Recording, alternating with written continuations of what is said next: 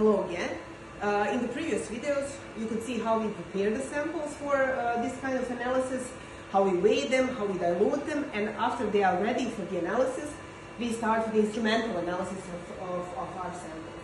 Uh, this instrument that you can see here is a, a microwave plasma atomic emission spectrometer. Uh, this type of uh, instrumentation is uh, applying optical technique for the analysis of different elements. It's mainly intended for uh, metals, but also for some non-metals. Uh, the principle uh, of the work of this instrumentation is actually that uh, all your samples need to be in a liquid phase. Uh, so that's why we are doing all the digestion with the, with the acids. So all elements that we are trying to uh, analyze later on needs to be in a, some kind of a homogeneous liquid. it can be either um, acid base, that is usually the case. It can be also organic depending on the type of the sample and the use value of the result.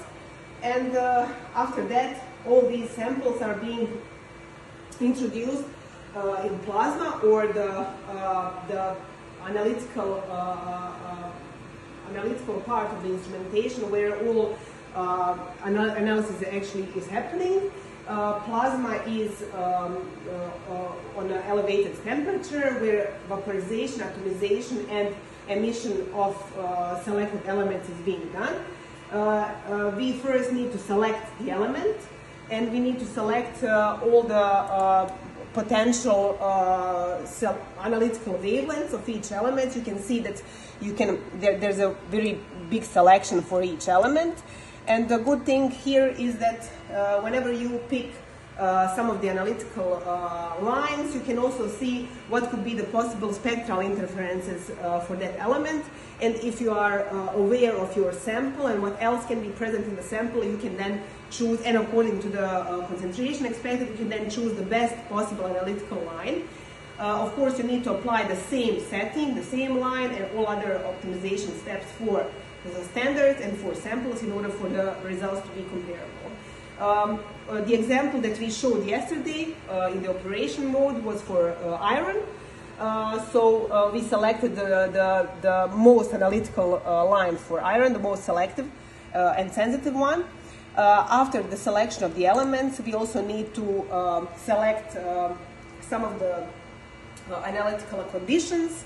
that means selecting or optimizing the pressure and the viewing position, uh, number of replicates in, uh, in the repeatability and repeatability conditions uh, for which we want to analyze each sample. Uh, rinse time, uptake time, all these uh, steps uh, need to be the same for standards and samples. after that, um, we prepare the selection of standards. In this particular case, we prepared eight, eight standards. Uh, for standards, uh, they are prepared uh, using only uh, traceable materials. These are some of the examples of the materials. So uh, the, the, uh, the, whole idea is that whatever value is already given for the reference material needs to be traceable, needs to be produced by only by the accredited producers of reference material, and needs to be accompanied with measurement uncertainty in, in order to take that into account when uh, when assessing the measurement uncertainty for our measurement results. Um, after uh, preparation of standards and calculating all our standards and all samples, as you could, see in the previous videos, were prepared uh, on gravimetric basis. So uh, all uh, concentrations were related to mass concentrations. Uh, after that, we also select the quality of calibration line and some other parameters. Then, of course, you need to uh, set up the sequence of your uh, standard, of your standards and of your samples. Um, uh, apart from only using samples, uh, unknown samples, we also need to uh, uh, conduct continuous quality control. that means that it's not only um, needed to have traceable standards for preparing calibration curve, for example, but you also need to every now and then, depending on the number of samples you have, to uh, run some quality control samples such as blanks. Uh, we have several types of blanks, blanks for calibration curve and blanks for the samples. Uh, these blanks for the samples actually include everything but the sample and they ran uh, through the whole sample preparation procedures as samples did.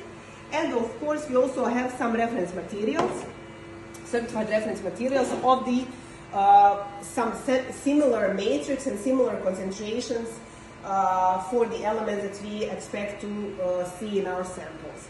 So uh, the whole idea is that when you uh, prepare the, the sequence for your samples, uh, every once in a while, every 10 samples or so on, you need to also run at least one uh, reference material. And that is uh, the control for you, not only uh, to take it into account for the measurement uncertainty, but also to uh, make sure that readings from your calibration curve and under your settings are correct because you can calculate it and see whether you got good uh, results for reference material. If that is the case, you can then conclude that good results are also uh, quality results are also uh, gained for your unknown samples.